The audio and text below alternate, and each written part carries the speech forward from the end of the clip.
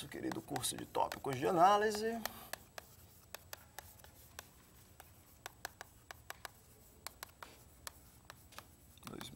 Ponto dois. Isso, rapaz. Aula quatro.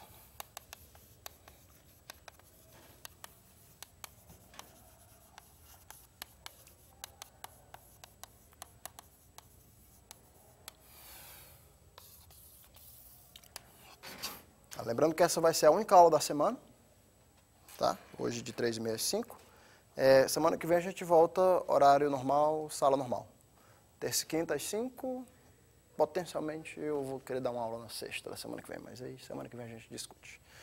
É, como é que vocês estão nos exercícios do livro? Progredindo? Já estão lá na sessão 20? Ou não?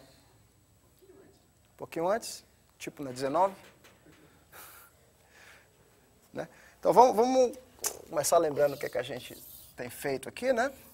Vamos começar a nossa revisão de hoje. É...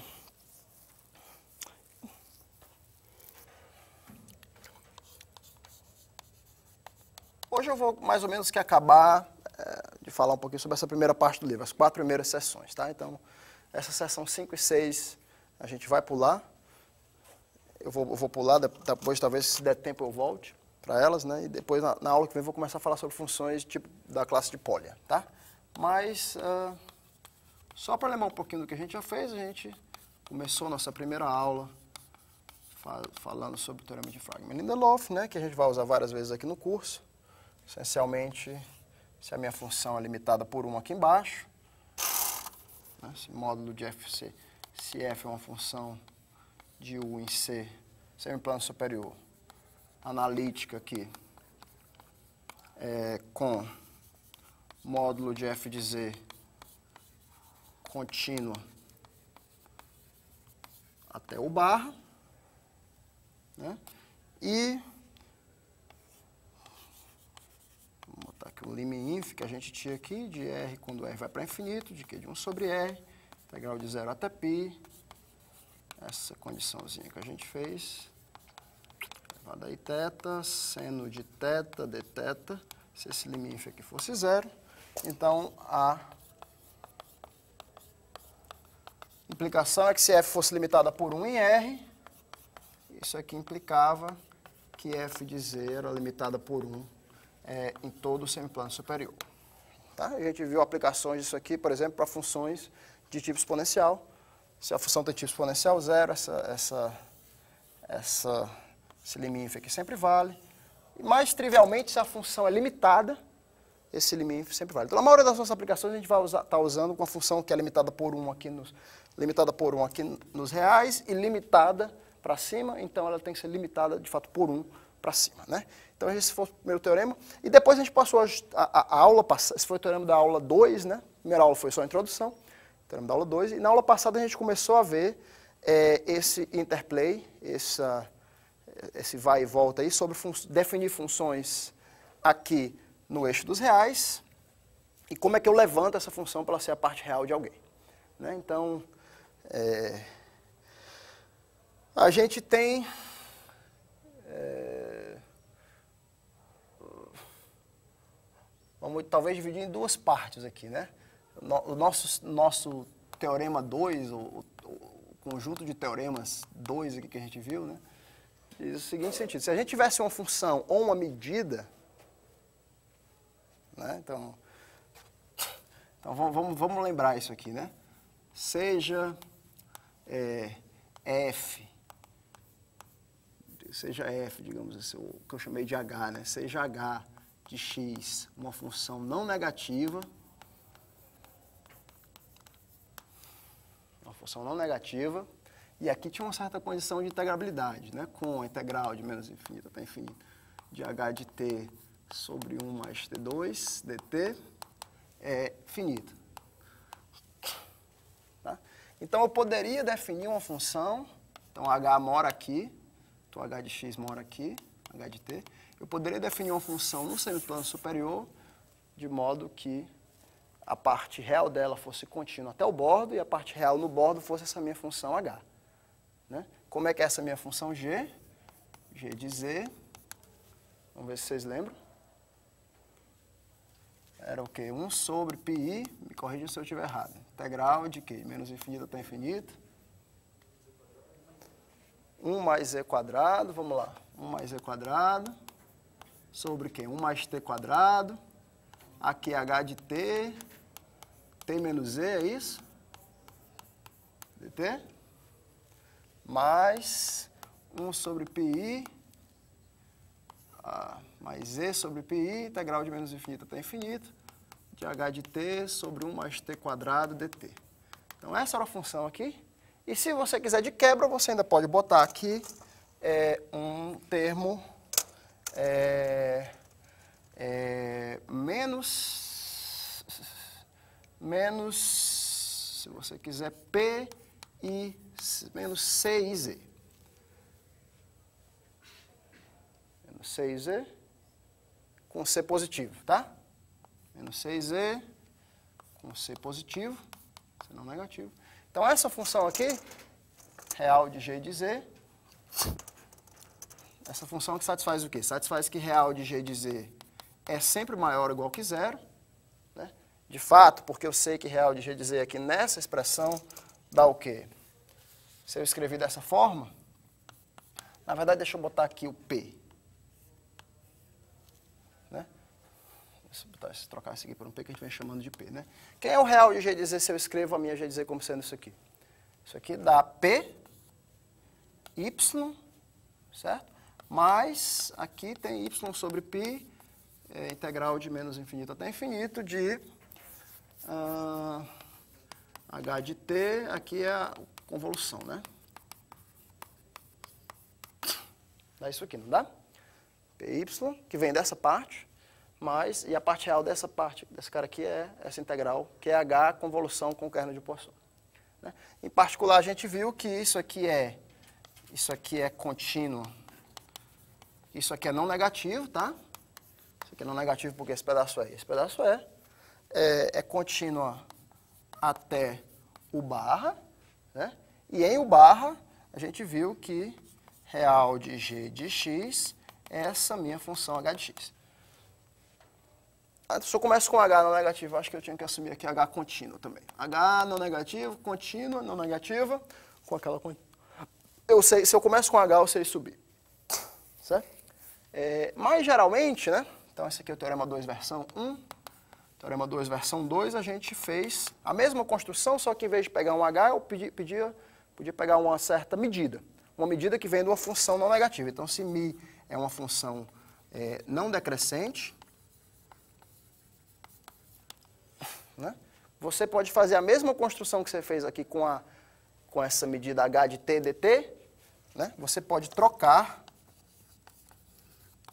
digamos aqui, h de t dt por dmi de t.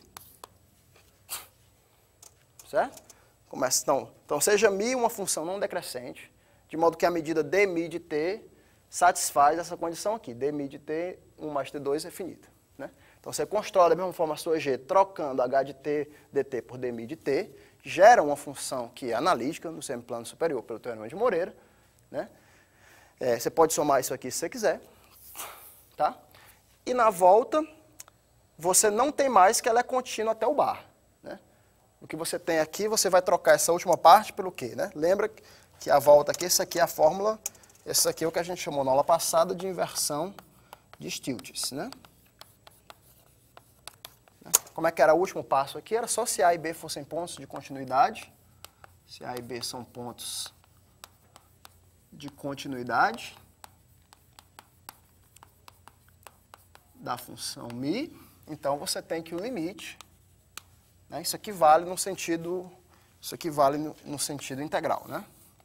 É, o limite de, da integral de a até b de real de g de x mais y, limite quando y vai para zero, isso aqui vai virar é mi de B menos mi de A. Legal? Era isso mesmo, né? Então tá, então eu sei que se eu começar com uma função aqui embaixo, bonitinha, contínua, ou eu começar com uma medida, eu sei subir, construo uma função que é harmônica aqui, portanto é parte real de uma função inteira, e essa parte real de uma função inteira, nesse primeiro caso ela é contínua até o bordo, nesse segundo caso ela não é contínua até o bordo, mas eu ainda tenho um certo limite aqui no bordo. Tá? Beleza. Agora a gente quer fazer o contrário. Né? Então esse aqui está aqui 1, um, está aqui 2. Vamos fazer agora o contrário do 1. Um. Vamos chamar aqui de 1 um linha. O que foi que a gente fez no, nos problemas 2 a 4 na aula passada? Agora eu quero começar com uma função que eu te digo que ela é analítica no semiplano superior e tem a parte real não negativa. Eu quero encontrar uma representação para ela mais ou menos desse tipo aqui. Então, o primeiro resultado que a gente viu na aula passada, quer dizer, a gente resolveu os problemas, né, foi exatamente a volta do 1, né? Então, vamos lá, se G, se G é definido agora de U em C, né, é uma função analítica, vamos lá, com parte real de G sempre não negativa e parte real de G contínua até o bar. São analítica no plano superior, real, parte, parte real não negativa e a parte real contínua até o barra. Né? Então, a gente viu que, é, então, a gente viu que essa função, a parte real de g de x mais y, era dada por isso aqui, né? Era dada por isso aqui. Então, isso aqui é igual a py mais uh, y sobre π, integral de menos infinito até infinito, onde essa h aqui vai ser substituída pela restrição dela, né? g de real de g de t sobre t menos x quadrado mais y ao quadrado dt. Tá? Esse p aqui é maior ou igual que zero. A gente, na verdade, viu quem era esse p. Esse p aqui é o limite. Quando você mandar o y para infinito, né? Se eu quero o limite quando o y vai para infinito, Tá? A gente provou que se isso equivale a essa, essa, essa real de g de t, na verdade satisfaz essa condição de integrabilidade aqui. Né? Portanto, quando você mandar o y para infinito, é... quando você mandar o y para infinito, o que é que eu quero fazer aqui? Uh...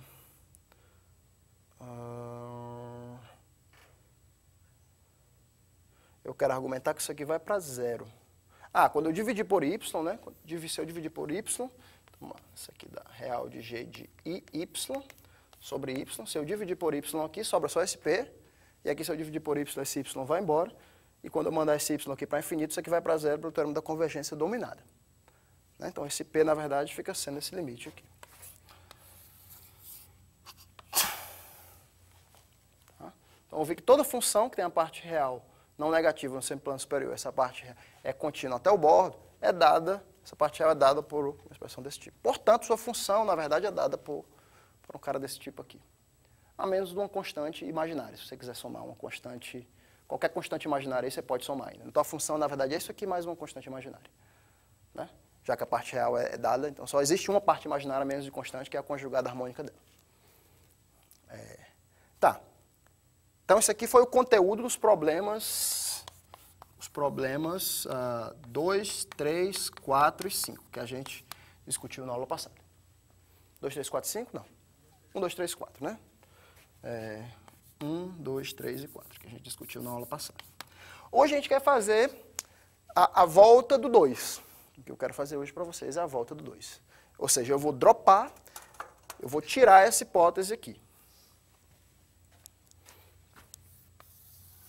Eu vou tirar a hipótese de que, que a parte real de G é contínua até o bordo. Eu vou só começar com uma função G, cuja parte real é não negativa no semiplano superior e só. G é analítica no semiplano superior e parte real não negativa no semiplano superior. E concluir que a minha G é, é dada por uma integral justamente com uma medida aqui de mim. Tá? Então esse é o teorema que a gente vai provar hoje. Espero que esteja contextualizado. Deixa eu procurar o que, é que eu quero fazer hoje. Então, vamos lá. O teorema de hoje é o seguinte. Então, vamos lá. Teorema do dia. É o que a gente chama de... Uhum, representação de Poisson, tá?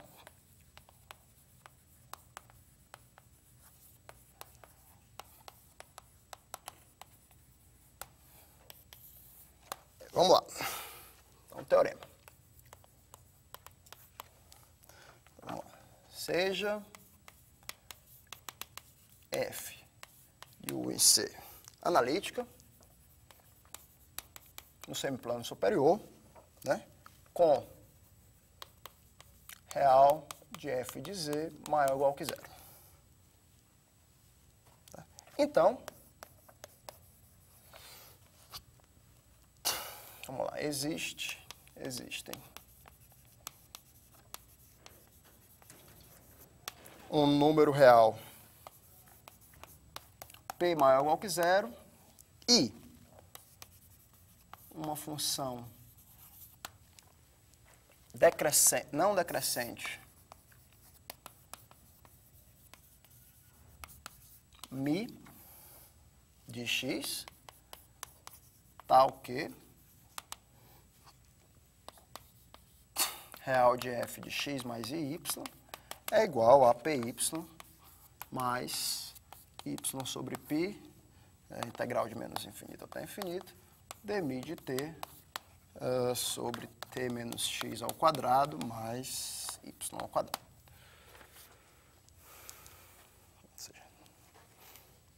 Esse é o teorema que a gente quer provar hoje. Então, para todo y maior do que zero. Isso aqui para y igual a zero não vai fazer sentido. Vai fazer sentido só no, só no, só nesse sentido aqui, né? Todo ponto de continuidade você vai ter isso aqui. Então vamos lá. Parece fácil a gente concluir de onde a gente está, mas na verdade vai dar um certo trabalho. Esse é o único resultado que eu queria discutir com vocês hoje. Então, vamos tomar um tempinho para a gente discutir isso aqui e ficar bem, bem claro. É... Vocês já leram esse teorema no livro? Entenderam a prova bem direitinho? Não, mais ou menos?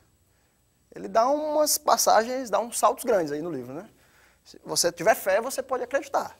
Mas seria bom se você de fato, é, se a gente de fato discutir, for até os meandros disso aqui e, e saber o que de fato está acontecendo. Né? Vamos lá, vamos tentar fazer junto isso aqui e ver onde é que a gente vai dar.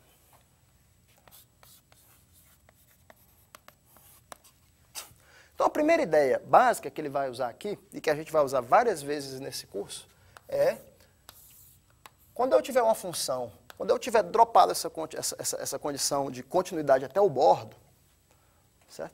mas eu estou te dando uma função que é analítica aqui do semiplano superior U. Certo? Eu não estou te dando nada dela no bordo. É. Tá? Então, a ideia básica aqui é você sempre botar um epsilon level aqui para cima, Ó, trabalhar aqui nas coisas nessa linha epsilon aqui, trabalhar daqui para cima e depois tentar mandar o epsilon para zero. Tá? Porque como a minha função é analítica no semiplano superior, o em particular ela é contínua e analítica até esse bordo verde aqui. Né? Então eu vou pensar nesse, do verde para cima como sendo meu novo semiplano, fazer o que eu tenho que fazer lá e depois tentar mandar o epsilon para zero. Tá bom? É, então tá. Então vamos usar os resultados que a gente já conhece. Né? Então, vamos usar os resultados que a gente já conhece. Não, seja epsilon maior do que zero. O que, é que a gente já sabe? Então eu já sei que se eu quisesse, por exemplo, escrever real uh, de g de x mais iy mais iy,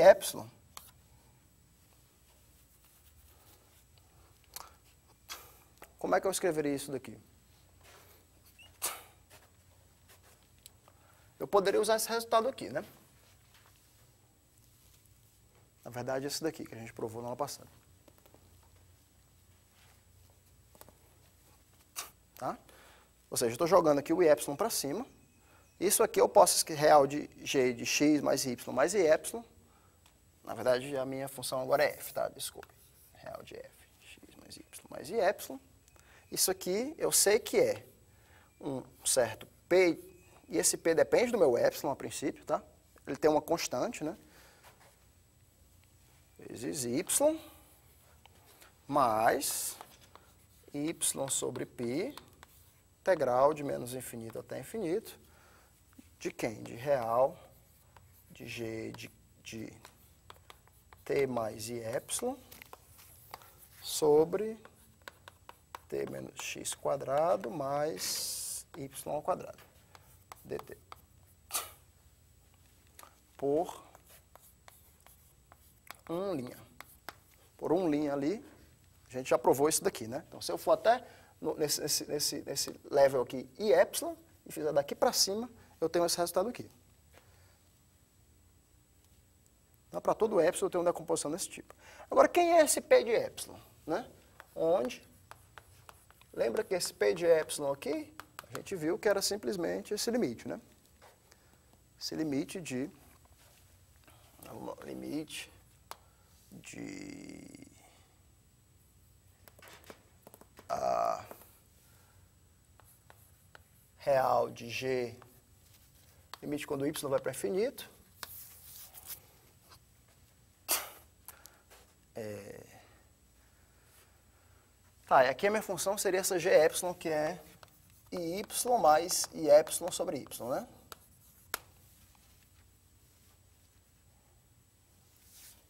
Tá claro isso aí? Estou trocando muito F com G, né? Me ajudem aqui. F. F. Né? É...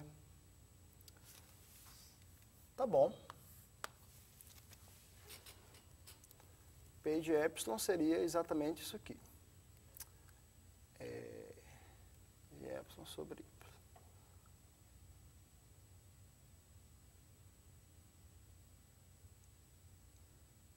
Ora, mas isso aqui, se esse limite aqui existe, né? se o epsilon é pequeno, digamos assim, epsilon entre 0 e 1, você pode simplesmente reescrever esse, esse quociente aqui, né? real de f de y mais i epsilon sobre y, você escreve como real de f de y mais epsilon sobre uh, y mais epsilon vezes y mais epsilon sobre y. Né? Então, se esse limite aqui existe, quando y vai para infinito, como esse limite aqui existe é 1, então esse limite aqui existe. Né? Então, na verdade, esse limite aqui, né? então isso aqui implica que o P de epsilon é igual simplesmente o limite, quando y vai para infinito, de, dessa quantidade aqui.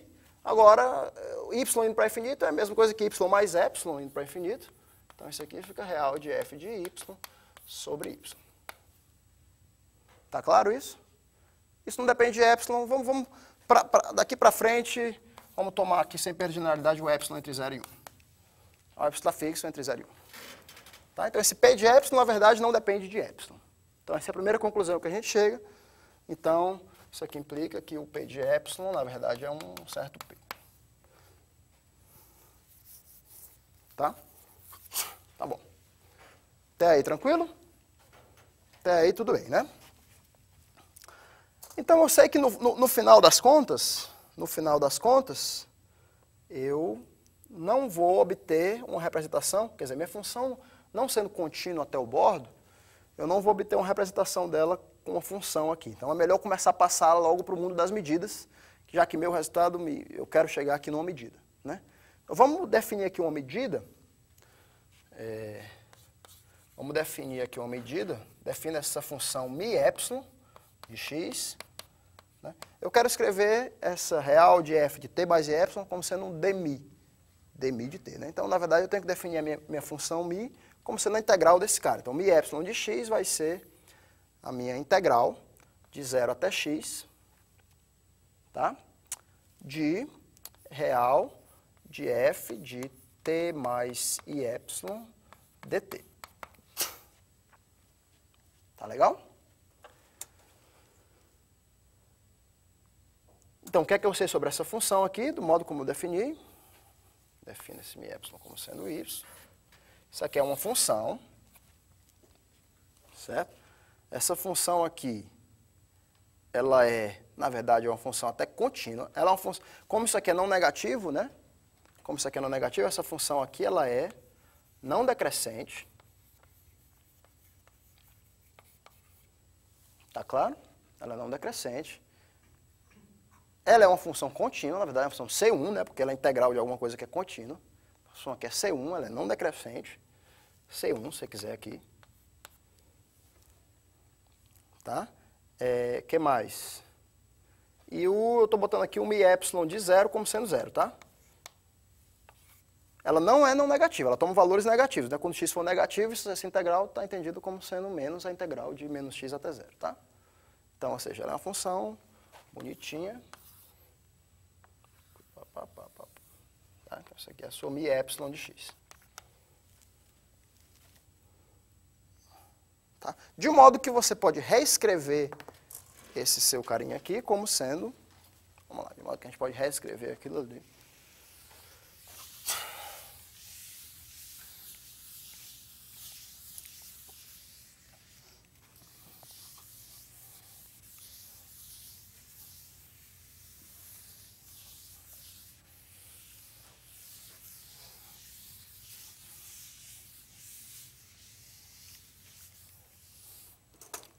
Gente vai reescrever, então.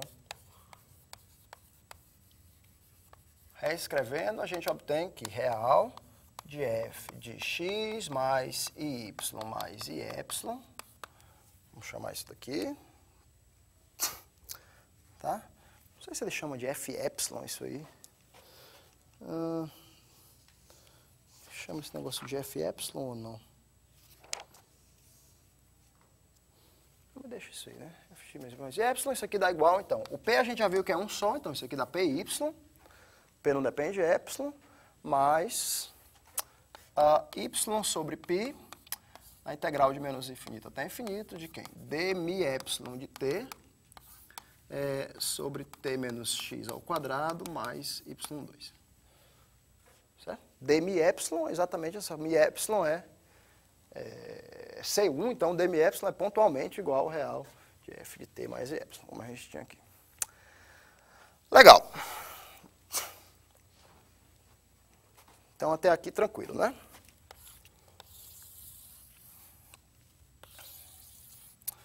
Então, a ideia filosófica é bem simples. Por trás disso aí, o que, é que você tem que fazer? Você tem que passar, então, agora o limite quando o epsilon vai para zero. Tá? Quando o epsilon vai para zero, então, é o que você quer é passar o limite quando o epsilon vai para zero, você espera que essas funções mi epsilon de x, em cada ponto, converjam para uma função, e esse vai ser o seu candidato. Né? Se você pega uma sequência de funções não decrescentes, se elas tiverem um limite, esse limite vai ser, obviamente, não decrescente também, e esse vai ser o seu candidato a ser a sua função uh, mi. Tá? Agora, a gente tem que fazer, de alguma forma, esse cara, é, essa ideia funcionar. Né? Então, o meu objetivo aqui, agora, nesse momento, é fazer um limite de funções não decrescentes. De alguma forma, fazer esse limite acontecer. Né? E a gente vai ver aqui que a princípio, eu não posso garantir que esse negócio vai convergir como eu quiser, né? Vai, vai ter um limite. Então, a ideia aqui talvez seja passar para uma subsequência. Tá? Vamos ver o que, a gente, o que, a gente conhece sobre essas mi epsilons aqui. É... Vamos ver. Primeiro, primeiro eu preciso de uma certa limitação, uma certa limitação uniforme nessas mi epsilon. Então, deixa eu botar aqui o que a gente vai tentar fazer agora. É uma certa limitação uniforme dessas mi epsilon. Limitação uniforme dessas mi epsilon. O que, é que eu sei, a princípio, sobre a, a minha mi epsilon, tá? Do modo como eu escrevi aqui, ó, tá? lembra que aqui eu estou tratando o epsilon entre 0 e 1. Lembra que eu estou tratando aqui entre epsilon entre 0 e 1. Então, se eu pegar nessa expressão, por exemplo, se eu pegar o meu, o meu se eu pegar essa expressão aqui, estrela, né, em estrela, se eu tomar o meu x igual a zero e o meu y igual a 1, eu, ou seja, se eu estiver olhando no ponto I, certo? Se eu estiver olhando no meu, olhando no meu ponto I, é, o que é que eu vou ter? Eu vou ter que, essencialmente, essa integral aqui, né, de 1 sobre π menos infinito até infinito de d mi epsilon de t, e aqui vai ficar simplesmente t2 mais 1. Tá? Essa integral aqui ela é não negativa, é sempre não negativa. Tá? mas ela é menor do que, isso aqui é limitado, né? Se o meu y for 1, isso aqui dá p. E esse cara aqui, quer dizer, independente do epsilon, eu vou estar aqui no ponto i mais epsilon. Né? Ou seja, eu vou estar nesse ponto aqui, eu vou estar entre o ponto, sei lá, i e 2i, digamos aqui. Né? Se o meu epsilon estiver entre 0 e 1, eu vou estar entre o ponto y e 2i. E certamente essa função aqui é uma função contínua, nesse intervalo, tá? Então tem um máximo, que eu consigo então, que é para todo epsilon, entre 0 e 1, esse negócio aqui ele é limitado. Limitado por um certo mzão. Tá claro isso aí?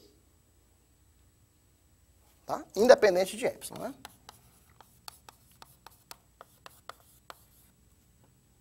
Para epsilon entre 0 e 1.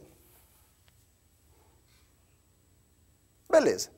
Então, agora eu vou e escrevo, agora eu quero transformar isso aqui numa, numa certa limitação mesmo para a minha função mi epsilon. Né? Agora eu escrevo, sei lá, é, é, mi epsilon, quem é mi epsilon de A?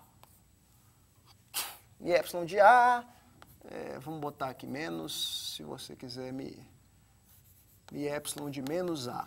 Mi epsilon de, de, de A até, até menos A, isso aqui é, isso aqui é, isso aqui eu sei que é não negativo, né? Porque a mi epsilon é não decrescente. Vamos lá, seja A um cara maior do que zero. Mi epsilon de A menos mi epsilon de menos A, isso aqui dá, dá igual a integral de menos A até A de D mi epsilon de T. Tá? Que é igual a integral de menos A até A, aí eu multiplico em cima e embaixo por esse cara. 1 mais T2. Agora o T está entre menos A e A, né? Então, isso aqui é menor ou igual do que 1 mais A2, integral de menos A até A, desse cara aqui, que é menor ou igual que a integral de menos infinito até infinito, desse cara aqui, que é menor ou igual do que 1 mais A ao quadrado vezes M.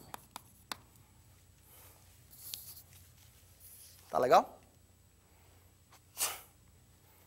Ou seja, eu sei que esse cara aqui é positivo, eu sei que esse cara aqui é negativo, tá? Então isso aqui me implica que esse cara aqui tem que ser menor do que essa cota e esse cara aqui, em modo, tem que ser menor do que essa cota aqui também. A diferença entre esses dois caras dá no máximo 1 mais ao quadrado m, isso aqui independe de epsilon. Tá claro isso aí? Ou seja, isso aqui implica que módulo de o epsilon de x é sempre menor ou igual do que 1 mais a ao quadrado m, né, se o x pertence ao intervalo menos a a. Para qualquer x intervalo menos a a, o epsilon de x está uniformemente limitado em epsilon. E essa aqui é a cota.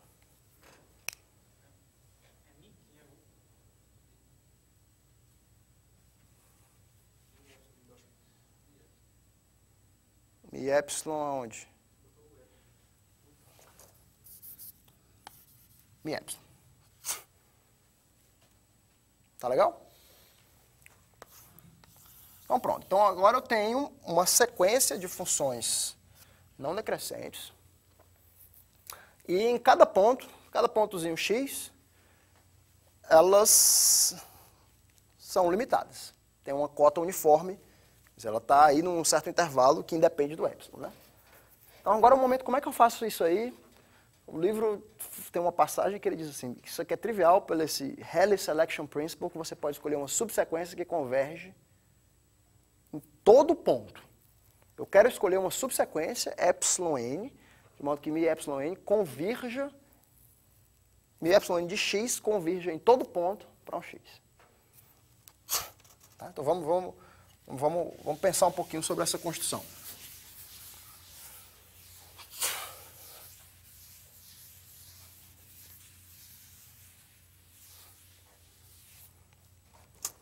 Então, nosso objetivo agora é o seguinte: objetivo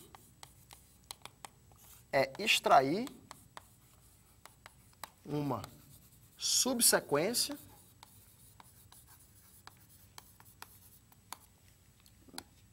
é, mi epsilon digamos assim, tal que limite quando esse epsilon n vai para zero de mi epsilon n de x seja igual, se exista, e a gente vai denominar ele de mi de x para qualquer x real.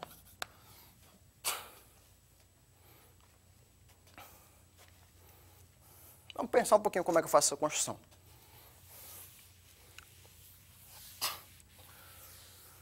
É, então, eu posso fazer usando isso aqui, usando os métodos de diagonal de Cantor, por exemplo. É, eu posso pegar essa tua... É, eu posso enumerar os teus os racionais. Então, vamos lá, primeiro passo. Você enumera os racionais, Q igual a, sei lá, R1, blá, blá, blá, blá, R2.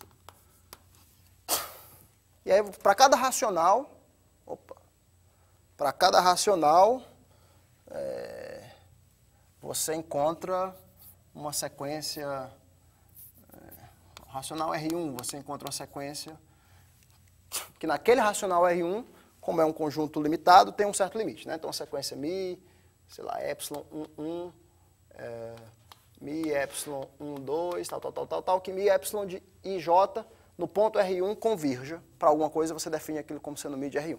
No ponto R2 você faz a mesma coisa, mi epsilon, uh, você pega agora uma subsequência dessa aqui anterior, né? mi 2, 1, mi 2, 2, tal, tal, tal, tal, essa sendo uma subsequência dessa de modo que convirja em R2. E assim por diante, né? e depois você escolhe a diagonal, de Cantor. De modo que você vai ter uma sequência, então aqui existe uma sequência. Vamos chamar aqui de epsilon n, tá?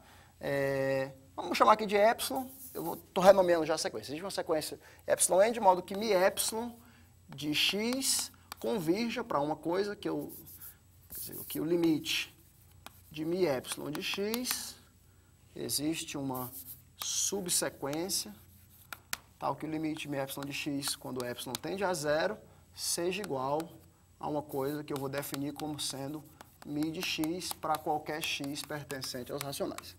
Está claro isso? Eu consigo extrair uma subsequência de modo que mi, mi epsilon de x tem um limite. Quando epsilon vai para zero, para todo x racional. Tá? Então, essa minha função mi de x aqui, a princípio, ela só está definida nos racionais. Mas é óbvio que é, eu tenho que essa mi de x, quer dizer, nota, note que essa minha função mi, ela é não decrescente. Tá? O limite, de, o limite pontual de função não decrescente é não decrescente. Tá? Então essa mi, ela, ela já nasce só nos racionais, ela nasce aqui só nos teus racionais, e ela é não decrescente. Então tu tem um cara aqui, tu pode ter um cara aqui.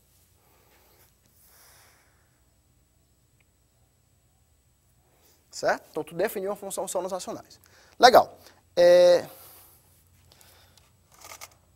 Tu quer agora definir essa tua função mi nos reais. Certo? Tu gostaria de definir essa função mi nos reais. De repente, até passando uma subsequência dessa sequência εn, passando ainda para uma outra subsequência, tu quer garantir essa convergência não só nos racionais, mas também em todos os reais. Certo? Pode ter aqui que essa sequência mi εn está convergindo nos racionais, mas em algum irracional ela não está convergindo. Tá? Então, o que pode acontecer é o seguinte, vamos lá. Então, é, tome, vamos tomar aqui um y, uh, y é um número ruim, mas tome, tome um s que é irracional.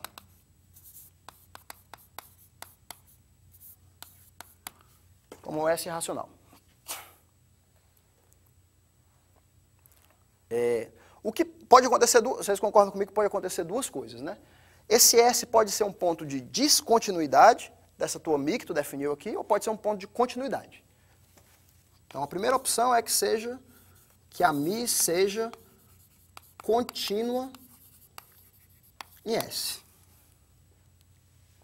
O que, é que quer dizer que a mi seja contínua em S? Quer dizer que se tu pegar, é, vamos botar aqui o lim sup da mi de R, com R menor do que S, R racional, isso aqui dá igual ao lim_inf da mi de R com R maior do que S, R racional. Lembra que a, a tua função mi, a princípio, só está definida para os racionais.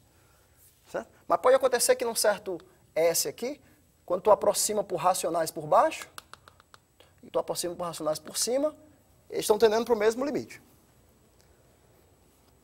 Tá? Se isso aqui for verdade, eu afirmo para vocês que, que essa mesma sequência mi epsilon n, nesse ponto S, a mi epsilon está definida em todo ponto. Eu afirmo para vocês que a mi epsilon n, nesse ponto S, tem um limite. E o limite é igual a exatamente esses dois caras aqui. Tá? Vamos chamar isso aqui de A. Nesse caso, isso aqui implica que o limite da mi epsilon n de, de S é igual a A quando o epsilon n vai para zero. E, ou seja, e você então já pode estender a sua função, se esse for um ponto de continuidade, você já, esse ponto já estaria tratado, digamos assim. Por que, que isso aqui é verdade?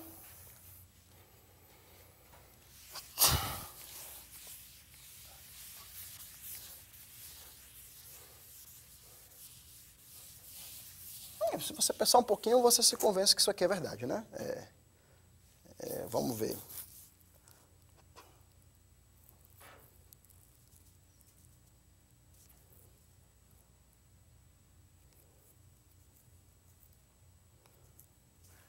Se você pegar o seu S aqui, você, pode, você poderia escolher um, um racional aqui bem pertinho dele, de modo que a distância, de modo que a distância desses dois caras aqui fosse muito pequena.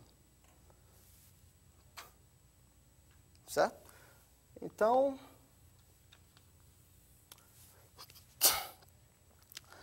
o que é que você faria? O Mi desse cara aqui é bem pertinho do Mi desse cara aqui. Só que o Mi, o Mi desse cara, vamos lá, botar R1 e aqui o racional, aqui o racional R2. O Mi de R1 é o limite de Mi epsilon de R1, nesse ponto R1, certo? E o Mi epsilon de S é sempre maior do que o Mi epsilon N de R1.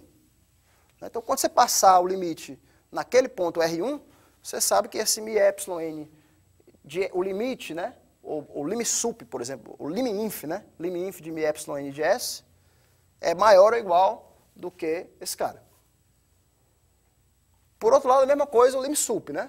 Então, você, você teria que, se você, se passasse o limite aqui, você encontraria com o lim inf de mi epsilon n de S,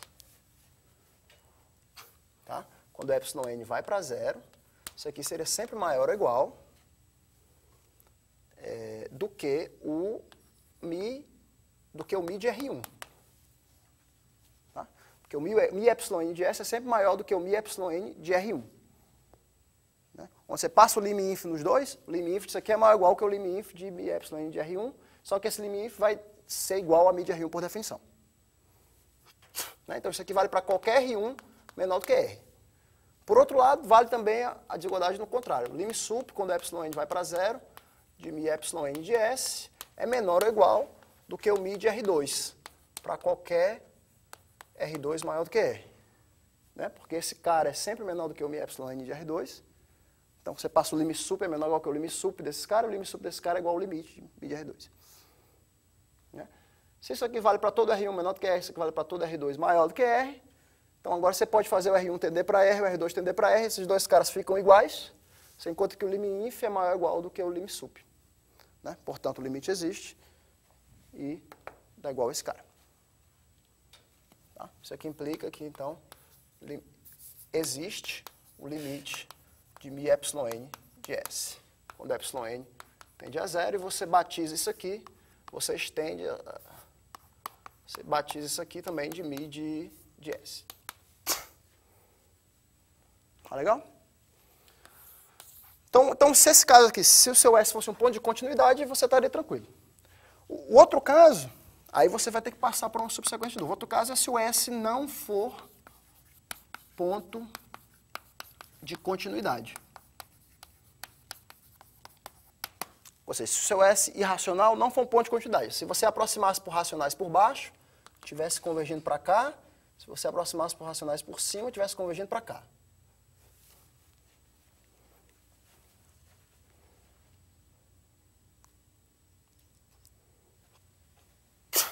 Mas eu afirmo para vocês o seguinte, lembra que essa tua mi, essa tua mi que tu definiu aqui nos racionais, ela também tem essa, ela também tem essa cota uniforme, né? Se a mi epsilon de x é menor ou igual que esse negócio aqui, Então a tua mid x é menor ou igual, todo ponto x ela tem uma certa cota uniforme aqui. Então a minha, a minha uh, observação é que o conjunto dos pontos S, onde ele não é ponto de continuidade, é um conjunto, esse cara aqui é um conjunto, é numerável.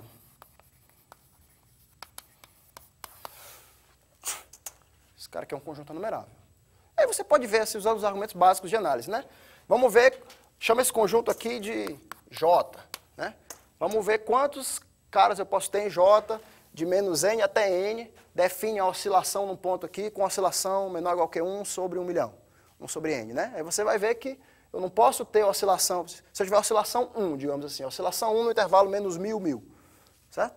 Eu não posso ter mais do que uma quantidade finita de pontos que tem oscilação 1, porque eu sei que ela, a minha, se eu tiver muitos saltos né, de tamanho 1, a minha E ia ter que, a minha Mi ia ter que ser muito grande, mas a Mi está uniformemente limitada. Né? Então, para cada menos N, N, para cada tamanho de salto que você botar, existe uma quantidade finita de pontos S de descontinuidade que podem ter aquele salto. Né? E aí você, então, faz a união de todos esses conjuntos. A união enumerável de um conjunto de conjuntos finitos é um conjunto enumerável. Tá? Então, esse conjunto aqui é enumerável, conjunto dos pontos de descontinuidade. E aí você repete, então, o argumento da diagonal de Cantor para subsequências desse cara aqui. Eu tenho agora um conjunto de descontinuidade, enumero eles, e para cada um deles eu pego uma subsequência que converge pontualmente naquele cara. Né? Repito o argumento da diagonal de Cantor, e para todos os caras nesse conjunto eu consigo uma subsequência que é convergente. Então aqui você repete o argumento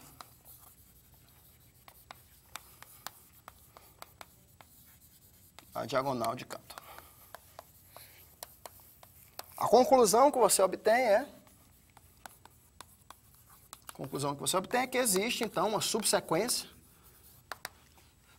εn tal que é, o limite de mi εn de x é igual a uma função que você chamou de mi de x quando epsilon vai para zero para qualquer x real.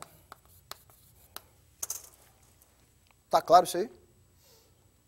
Tá bom. Então, isso aqui é uma passagem que eu acho que merecia uma maior explicação no livro, se você nunca, se você não, não viu esse princípio da seleção de Helly. Mas isso aqui são só, são só duas, dois métodos, de, duas diagonais de canto seguidas, tá? Beleza.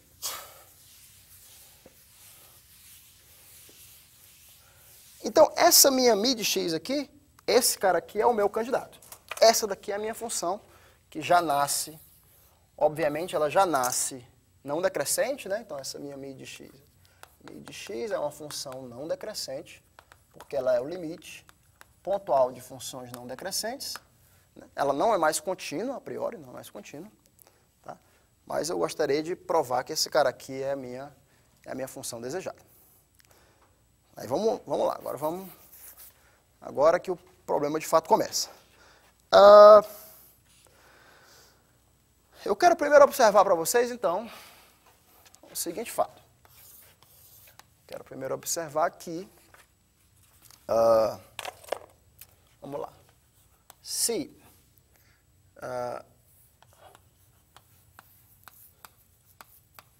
se eu pegar dois pontos A e B finitos, né, primeira coisa é que eu tenho que a integral, vou botar aqui para vocês, de A até B, de, agora eu já estou chamando mi epsilon, não vou ficar escrevendo mi epsilon n o tempo todo não, tá? Vou chamar mi epsilon, é, essa minha sequência, tá? d mi epsilon de t menos x ao quadrado mais y ao quadrado, d mi epsilon de t. O limite disso aqui, quando o epsilon vai para zero, é igual ao integral de a até b dessa função.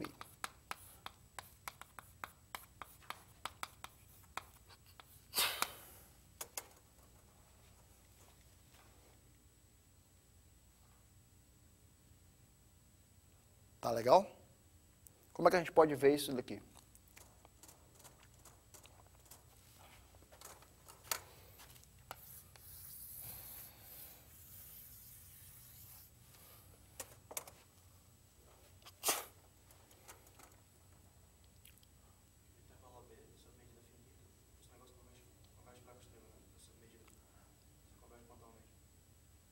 Isso, né? Portanto, então, é, essa função aqui é bonita, é ser infinito, se você quiser, nesse intervalo. Tá? Essas medidas convergem pontualmente.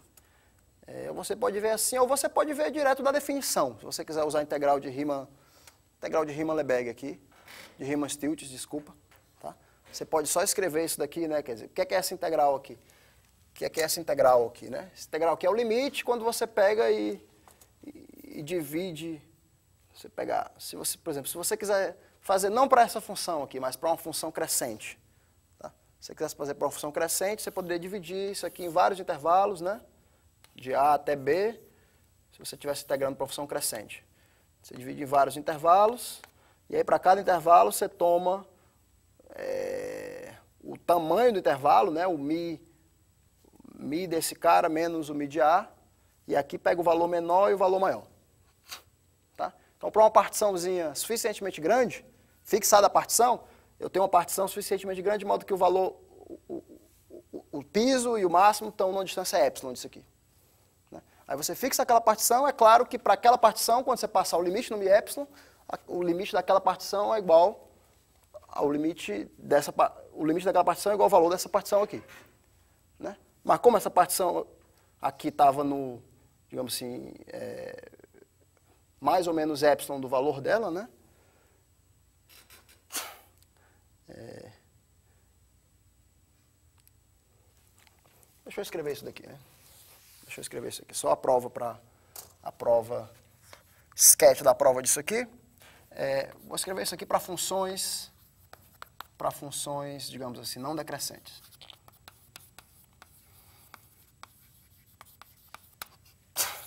Se eu quisesse provar isso aqui, quer dizer, eu estou querendo provar isso aqui, que o limite, quando o epsilon vai para zero, a integral de a até b de uma certa função, vamos chamar aqui de w, w de t, epsilon de t, tá? dá igual a integral de a até b da tua função w de t, dmi de t.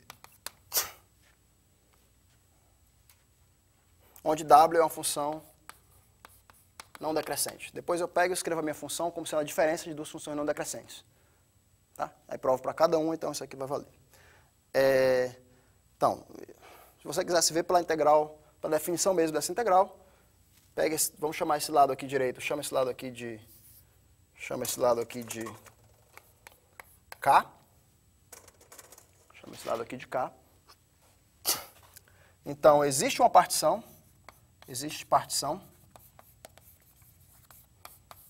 partição P, tem o intervalo AB, né? vamos chamar aqui A é menor do que é, T1, A igual a T0, menor do que T1, tal, tal, tal, tal, TJ igual a B, de modo que, vamos botar aqui essa soma, vou chamar aqui a soma menos, associada a essa partição. O que é, que é a soma menos associada a essa partição aqui? É somatório de W de TK mi de TK mais 1 menos mi de TK, associado a essa partição. Né? Aqui eu pego o, menor valor, né? essa minha função W aqui é não decrescente. Aqui o A, tá aqui o B. É, que isso aqui é menor ou igual do que o valor da integral, que é K.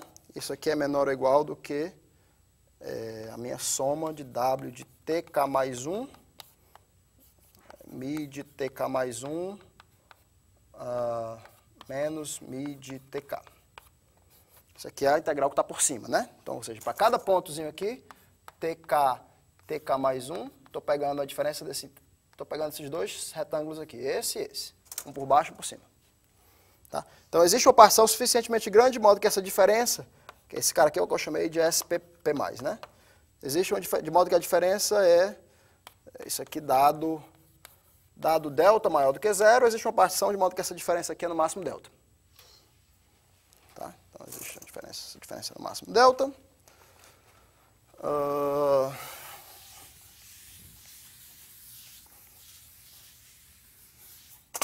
Ou seja, é... vamos escrever assim que o teu K é menor ou igual do que essa partição menos, mais o teu delta.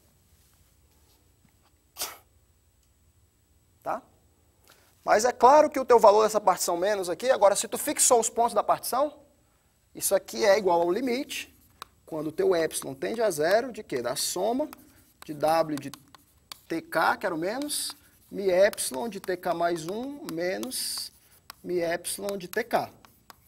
Que agora é só uma quantidade finita de pontos. Né? Em cada um desses caras, o mi epsilon converge para a função mi. Então, esse cara aqui dá o limite disso, mais delta. É... Mas observe que esse cara aqui é uma partição, isso aqui é menor ou igual que o limite quando o epsilon vai para zero de quê? Isso aqui, como a w é não decrescente, é menor ou igual do que a integral. Do que a integral de a até b, w de t, dm epsilon de t. Eu estou pegando aqui o primeiro valor. Pegando o último. Isso aqui mais delta.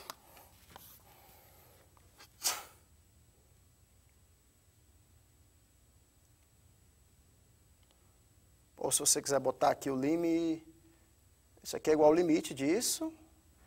Cada um desses caras é menor do que a integral. Então isso aqui fica menor igual que o limite inf, se você quiser. Né? Então, isso aqui é o limite desses, dessa soma aqui. Cada uma dessas somas é menor ou igual que a integral. Agora eu posso pegar o lim inf, isso aqui continua valendo.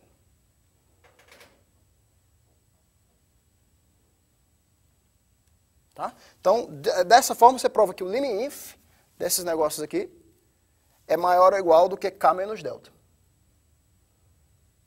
Então, isso aqui implica que esse lim inf de epsilon vai para zero de A até B, W de T, dmi epsilon de T, é maior ou igual do que K menos delta. Se você fizesse pelo outro lado, você ia encontrar que o lim sup, você ia encontrar que o lim sup, quando o epsilon vai para zero, integral de A até B, W de T, dmi epsilon de T, seria menor ou igual do que K mais delta. Conclusão é que a diferença do lim sup para o lim inf, lim sup menos o lim inf desse negócio, dá no máximo 2 delta. Tá? Como o delta é arbitrário, então o limite sup é igual ao limite inf, e esses caras têm que ser igual ao k. Tá? Então esse aqui é o argumento de análise real básica, análise na reta básica mesmo, né? Tá bom. Então a gente conclui isso daqui, que essa integral de dmi epsilon, que limite dessa integral vai para esse cara aqui. E o que é que eu faço agora? Vamos lá.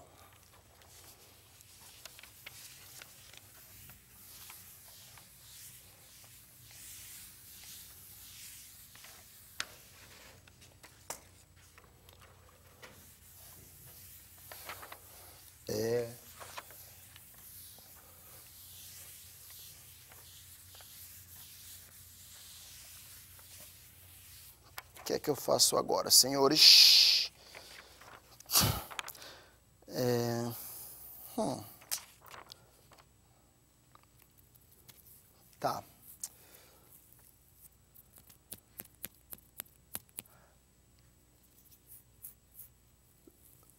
Lembra que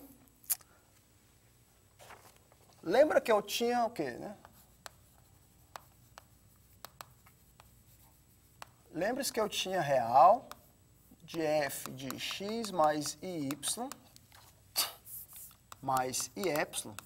Isso aqui era igual a py mais integral de menos infinito até infinito. Lembra que foi aqui que eu comecei, tá? A gente começou disso aqui, né? Essa expressão. Se eu trocar essa integral de menos infinito até infinito por integral de a até b, como esse cara aqui é não negativo, eu tenho que isso aqui vai ser maior ou igual. Tá? Agora eu passo o limite, passo agora o limite quando epsilon vai para zero. O que é que eu obtenho desse lado aqui? Desse lado aqui, a função vai dar real de f de x mais y. A função é contínua aqui. Lembra que o y aqui é positivo, tá? E desse lado aqui, então, vai dar maior ou igual do que PY mais, pelo que a gente acabou de ver, isso aqui dá dmi de t, t menos x ao quadrado mais y ao quadrado. Tá? Em particular, é, Em particular,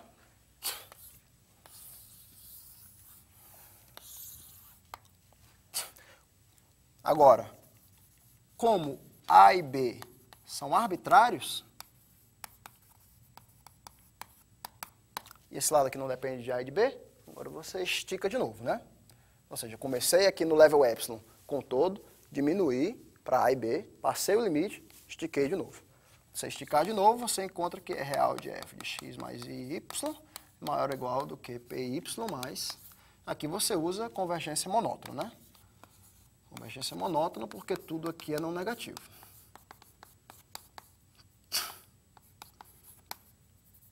Assim, só uma observaçãozinha básica que eu fiz, essa provinha que eu fiz aqui foi para funções não decrescentes, para função W não decrescente, né?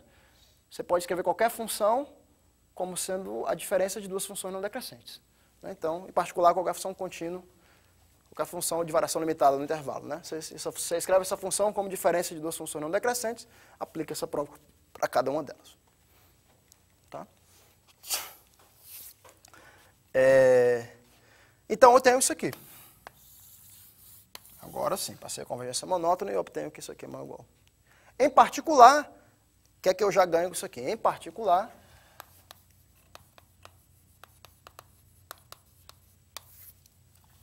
em particular, o ganho que essa medida dmi, integral de menos infinito até infinito, de dmi de t é 1 mais t2, isso aqui é menor do que infinito.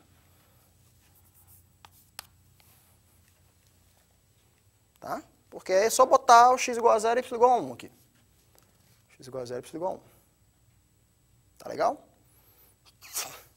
Tá bom, então agora eu tenho uma função mi, que é não decrescente, que, que a medida associada dmi de t satisfaz essa desigualdade então. Então agora a gente vai lá e construi, então construímos, construo a minha função g, minha função g de z, que é igual a, é uma 1 sobre pi, integral de menos infinito para infinito de 1 mais z quadrado, 1 mais t quadrado, dmi de t, é, t menos z, mais z sobre pi, integral de menos infinito até infinito, de é, dmi de t, 1 mais t2. Construa essa função aqui. Uh,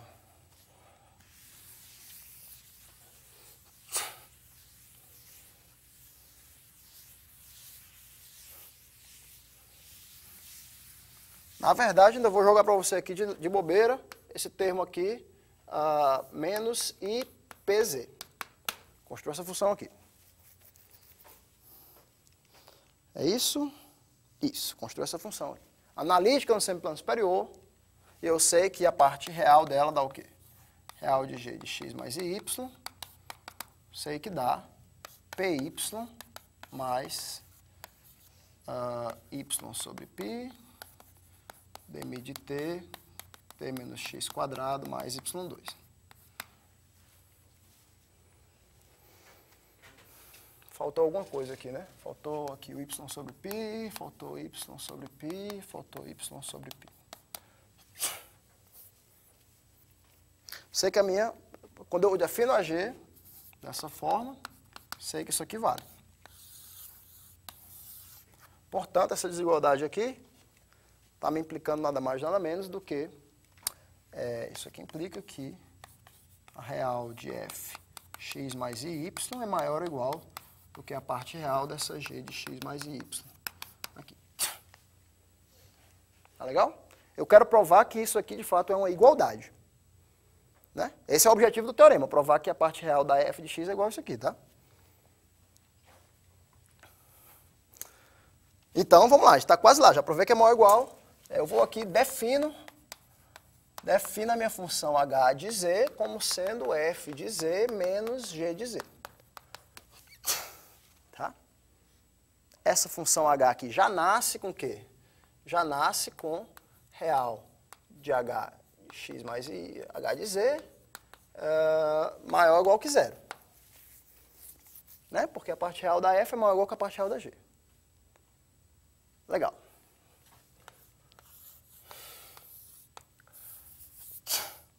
Que mais, hein, gente? que mais? Vamos agora dar uma olhada... Tá, agora só... Eu tenho que provar que essa, essa parte real da, dessa H aqui é zero. Tá? Para concluir o teorema, provar que a parte real da H é zero.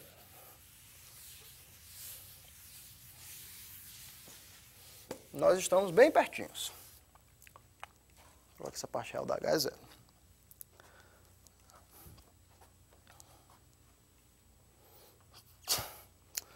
Vamos...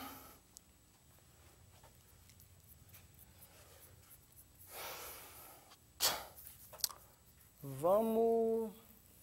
Vamos lá, o que é que eu faço aqui? O que é que eu faço agora, meu? O que é que eu faço agora?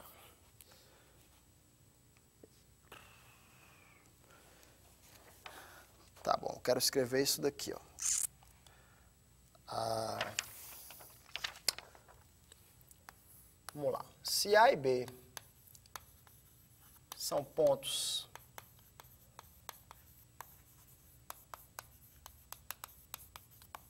de continuidade da tua medida mi, então vale o seguinte. Então, vale o seguinte. Vamos olhar para esse limite aqui. Limite, quando y vai para zero, integral de a até b, da parte real de h de x mais y dx. Vamos olhar para esse limite aqui. Isso aqui dá o limite, quando y vai para zero, de quem? Integral de A até B. H é F menos G. Então, isso aqui da parte real de F de x mais y epsilon uh, dx menos a integral de A até B real de g de x mais y epsilon dx. Tá claro? Isso aqui é só porque AH é a F menos a G. Agora, por definição, então vamos lá, então isso aqui é igual ao limite, quando o epsilon vai para zero. Por definição, por definição da medida mi epsilon, isso aqui dá, esse primeiro cara aqui dá mi epsilon de B menos mi epsilon de A. Né? Porque eu defini a minha medida de mi epsilon exatamente como sendo essa integral aqui. E esse limite aqui, agora já separando, né? Esse primeiro limite, limite quando dá isso aqui, esse, esse limite aqui, quando y vai para zero, da real de g de x mais y dx, como a g eu defini por essa expressão aqui, onde a mi é uma medida com essa condição, isso aqui pela fórmula de Stilts, né? Essa segunda aqui, pela inversão que a gente provou, a inversão de Stilts. Eu sei que isso aqui volta, como A e B são pontos de continuidade da tua medida mi, eu sei que isso aqui volta para uh, mi de B menos mi de A. Tá? Agora, como eu escolhi essa minha mi epsilon? De novo, aqui mais uma vez eu estou escrevendo epsilon, mas isso aqui é a minha subsequência, tá? Como eu escolhi a minha mi epsilon de B para convergir em todo ponto para mi de B e mi epsilon de A para convergir em todo ponto para mi, mi de A, então isso aqui vai dar, vai dar zero, tá? Mi de B menos mi de A, mi de B menos mi de A. Beleza. Então, concluí isso daqui.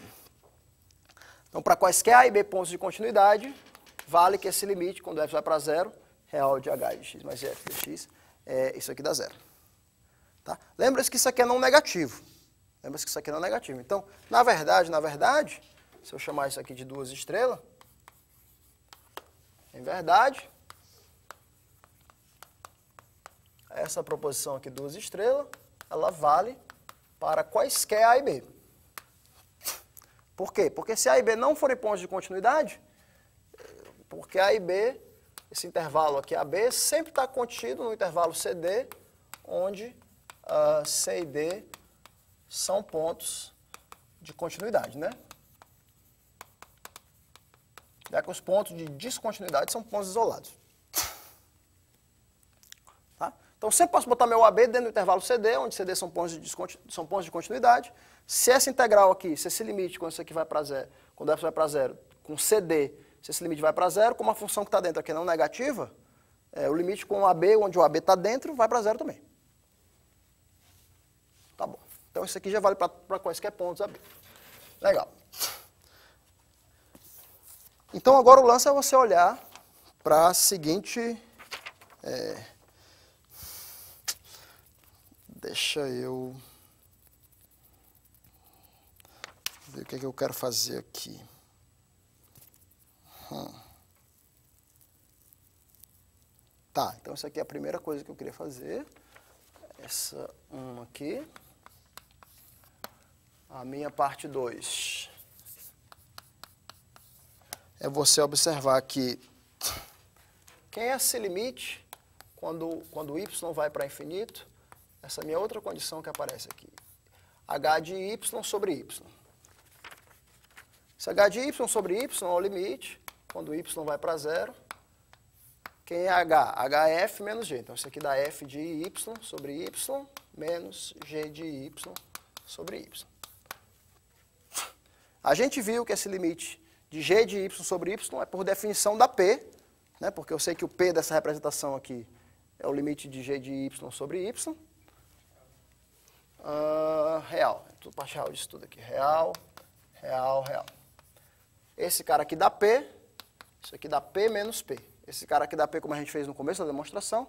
Esse cara aqui dá P pela construção do G. Então, isso aqui dá zero. Tá? Então, eu sei que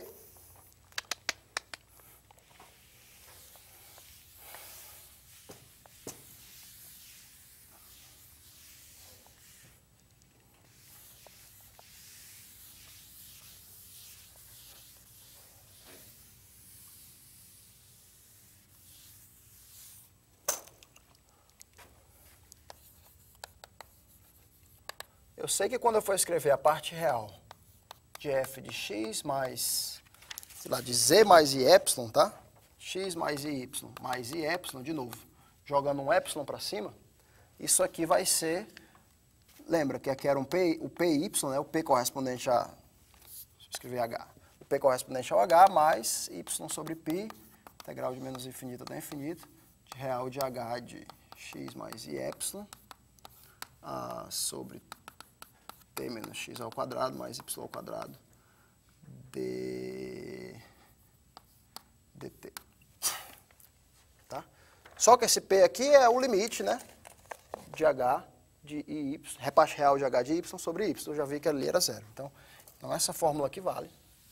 Sem esse cara.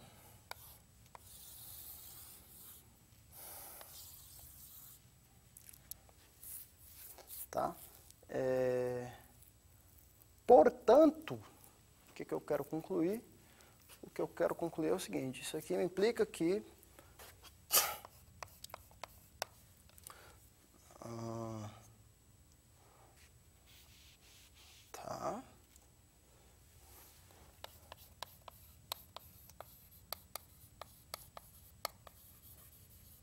Note ainda o seguinte? Note ainda o seguinte.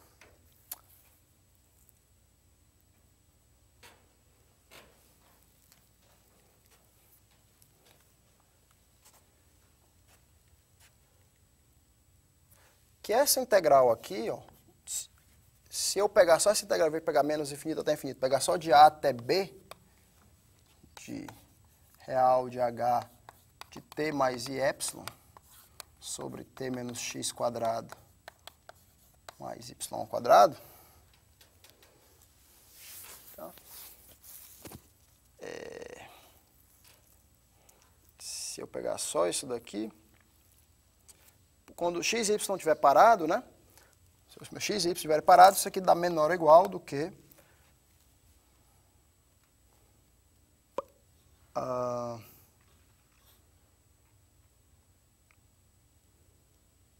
será que eu preciso eu quero usar que o limite desse cara aqui vai para zero. Será que eu preciso botar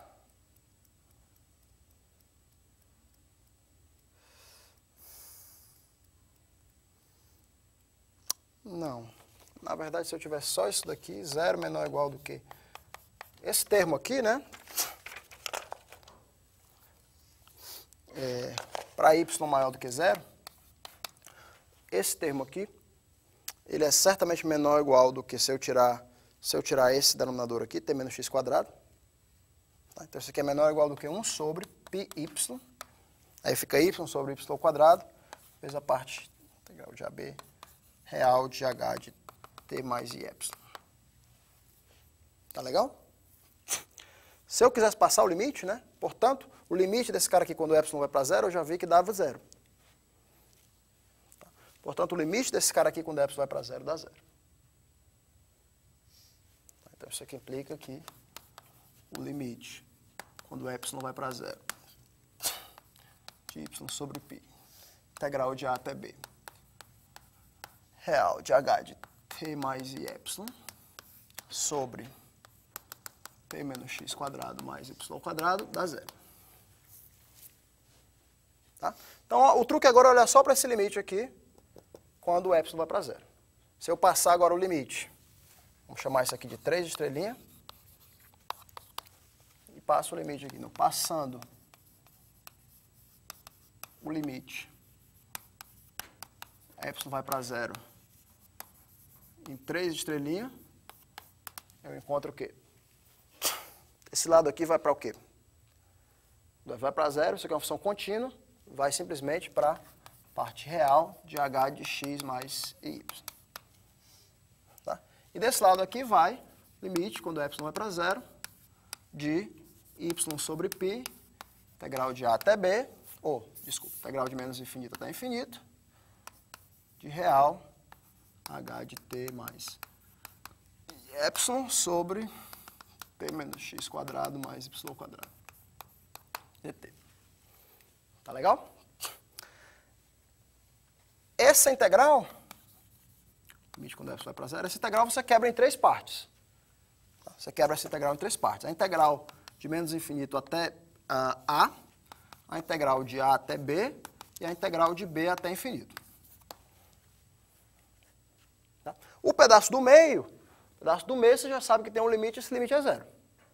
Ou seja, então isso aqui dá simplesmente o limite, quando o epsilon vai para zero, de quem? A integral de menos infinito até a, desse cara, real de h de t mais i epsilon sobre t menos x quadrado, y quadrado dt, mais a integral de b até infinito, de real de h t mais epsilon sobre t menos x quadrado mais y2 dt. Tá? E isso equivale para qualquer, quaisquer é, A e B finitos.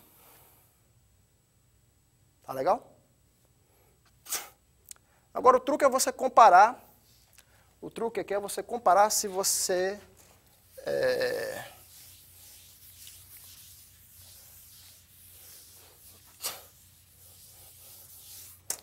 Se, o truque aqui é eu comparar, se eu tiver pontos x1 e x2, aqui bem pertinho, x, ponto, fixe, fixe agora x1 e x2, tá? Eu fixo x1 e x2, e aí eu mando A e B é, para muito longe, certo? Eu mando A e B para muito longe. Tomo um A aqui bem, bem pequeno e um B aqui bem grande. Note que essa, nessa integral aqui eu estou sempre tomando o t, o t aqui está sempre fora do intervalo AB, né? Então eu queria comparar agora um t muito grande, eu queria comparar um t aqui fora do intervalo AB, eu queria comparar essas, esses dois denominadores aqui, esse, eu queria comparar t menos x1 ao quadrado mais y ao quadrado, eu queria comparar esse cara com o outro, t menos x2 ao quadrado mais y2 ao quadrado. Tá? Filosoficamente, o que eu quero fazer é o seguinte. Só dizer para vocês como é que a prova vai acabar. A gente conclui os detalhes aqui em cinco minutos. Como é que a prova vai acabar. É, fixado x1 e x2, se o a e b forem muito grandes, né, filosoficamente você vai ter que t menos x1 ao quadrado mais y2 ao quadrado vai estar próximo desse cara. vou provar que essas duas frações são, são muito, é muito próximo de 1. Certo? Então, fixado x1, x2 e y. Tá? Isso aqui está muito próximo de 1. Portanto, né, esse cara aqui está muito próximo desse cara aqui, próximo de 1. Você, é, você limita por cima e por baixo por 1 mais epsilon e 1 menos epsilon. Portanto, esse limite aqui tem que estar tá entre 1 mais epsilon e menos epsilon para os dois caras, né, para x1 e x2. Você vai acabar concluindo, então, que a parte real de h de x, 1 mais y é a mesma parte real de h de x2 mais y. Tá? É... Se você fizer essa conta aqui, vou mostrar para você o que é que vai dar. Você abrir isso daí, você vai chegar na seguinte coisa. É... Já que eu estou um pouquinho sem tempo, deixa eu poupar essa conta para vocês aqui. Isso aqui vai dar em módulo ah, menor ou igual do que 1 mais, se você fizer essa conta aqui, x2 menos x1, dividido pelo mínimo entre uh, x1 menos A, x1 menos B.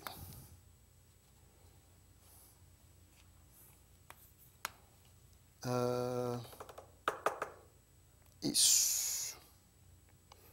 Uh, x2 é desculpa. x2 menos A, x2 menos B.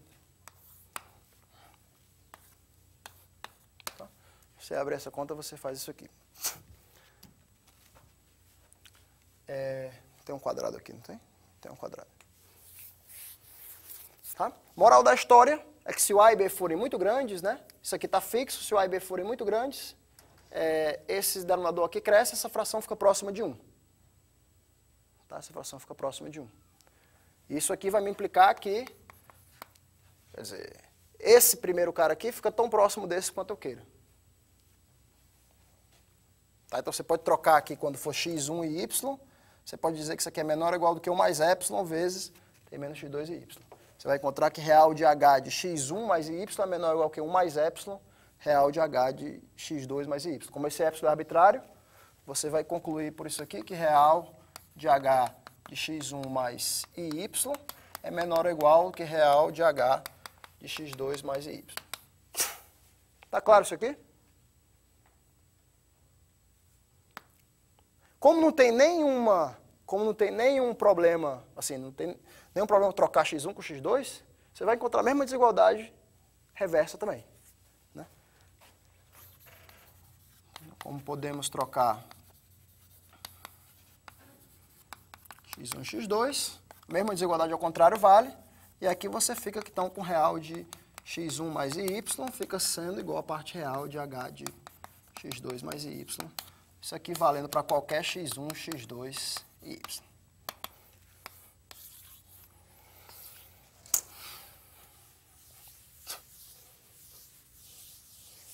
Tá? Então, mais uma vez, aqui está o grande lance. Você queria provar isso daqui, certo? Você obtém essa representação integral, onde a integral aqui está sempre se dando fora do intervalo AB. Você pega x1, x2 fixa, manda o A e B lá para muito grande, e você vê que esses dois denominadores são essencialmente a mesma coisa. Tá? Portanto, real de h de x1 mais y vai ser igual ao real de h de x2 mais y. O jeito que você faz isso aqui é provando que é menor ou igual que 1 mais epsilon vezes o outro, maior ou igual que 1 menos epsilon vezes o outro. Depois, como tem uma simetria, isso aqui vale. Né? Mas aí, de fato, você já acabou, né? Porque se você escrever, então, h de z, h de x mais y, né?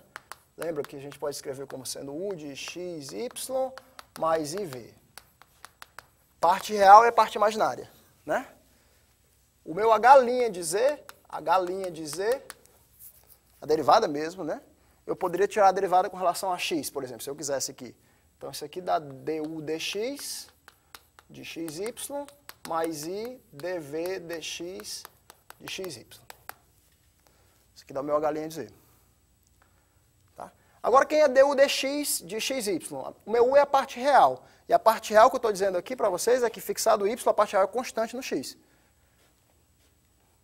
Tá? Fixado y, a parte real é constante no x. Portanto, esse du dx aqui dá, dá zero. Estou dizendo para ti que a parte real mais i dv Ou seja, isso aqui vai me implicar que a parte real de H' de Z dá zero. Se a parte real de H' de Z dá zero, eu sei que H' de Z tem que ser, então, uma, uma constante CI. Vocês concordam? Tem que ser uma constante CI. Portanto, essa minha função H de Z tem que ser igual a, a CZI mais D. CZI mais D. Tá legal? Mas aí vamos, vamos provar então que uh, CZI mais D. Tá. Tá? Lembre-se que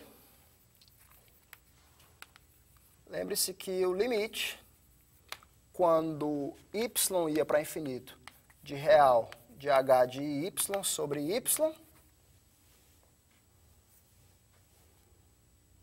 h é um CI com C real, tá?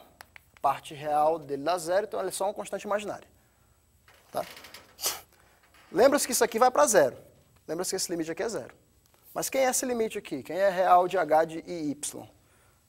Real de h de y dá o que aqui? Dá, dá, uh, dá menos c, né? Tem que ser zero. Então isso aqui implica que meu c é zero. Tá? Portanto, se o meu C é zero, uh, se o meu C é zero, uh, a H de Z dá igual a simplesmente uma constante D, H de Z é uma constante D, e aí a gente usa, finalmente, isso implica que H de Z é uma constante D, finalmente a gente usa que, a gente viu que esse limite, né, quando ε tende a zero de integral de a até b, de que? De h de x mais i epsilon dx, isso aqui vai para zero. Da parte real, né? Tá? Como isso aqui é uma constante, então isso aqui implica que a parte real de d tem que ser zero. Só tem parte imaginária. O que implica, então, que parte real de H Z é zero. E era isso que eu queria provar, né? né? Portanto, isso aqui me implica que a parte real de F de Z é igual ao real de G de Z. Tá legal? Beleza, então isso aqui foi o nosso... Agora a gente sabe ir e voltar da reta para U, de U para reta, assumindo ou não que a função é contínua reta. Ou seja, voltando se eu tiver uma função ou voltando se eu tiver uma medida, tá? Através dessa representação de Poisson. É, fiquem aí essa semana, então, dê uma avançada. Próxima semana a gente vai conversar aí com os capítulos sessão 7, né, função de Poisson. Semana que vem eu quero fazer essa função da, da classe de Polia, fazer um pouco de funções de tipo limitado já, é, e chegar já nessas fatorações dessas funções, tá? Dê uma avançada no livro, comece a fazer os exercícios. É importante que vocês façam exercícios